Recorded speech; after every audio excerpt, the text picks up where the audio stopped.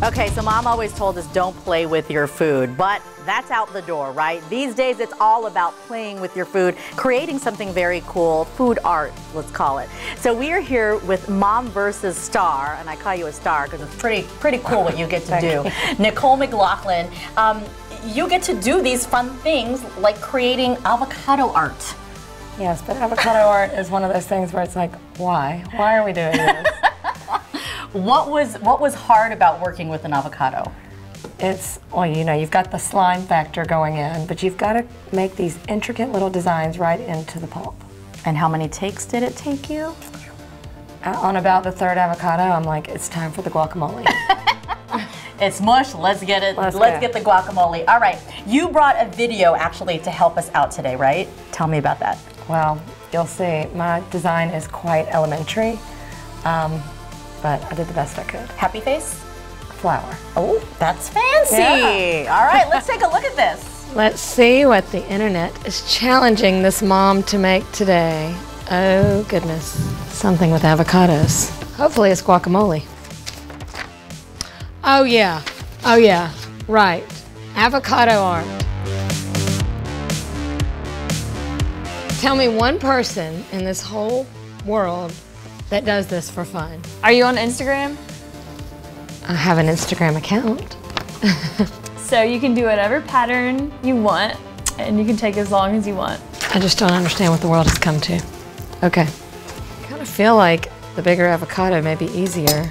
Let me see. What sort of design are you thinking? I'm thinking of a person. Maybe I'll do a sunshine. I don't even know where to begin. Watch this. I'm gonna blow up the internet. Now, I don't know how you get the insides out. Yeah, this might not have been the best design. I think I need the softer avocado. I'm starting over. Because you gotta be able to pull those pieces out. I'm gonna do a flower. Oh yeah, this is the kind you gotta use. I mean, it could be a stress reliever, but what else could someone be doing with their time?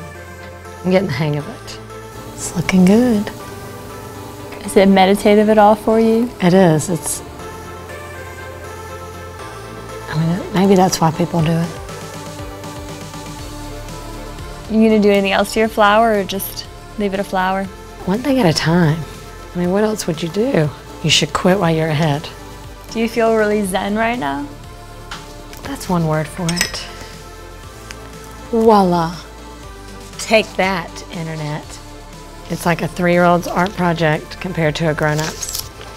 Now let's go have some margaritas and guacamole. So Fun, fun. Okay. You think we're going to be able to do this? Um, maybe. We're going to give it a try Okay. afterwards. Try not to lose a finger. And I don't want to waste any precious avocado because So I love we're gonna mush it afterwards, and you can put it on your toast, or Great. we can make guacamole. Okay. Yeah, but Nicole, uh, Moms Versus is actually connected to our parent company, Mm-hmm. Meredith Corporation, uh, with the website Well Done. So you'll have to check them all out. But that's when I was in Iowa shooting some Cool. stories, and it was fun to meet all the folks from Meredith. I am kind of with her, April. I don't see where people get all this time. April, what are you going to make? Have you I thought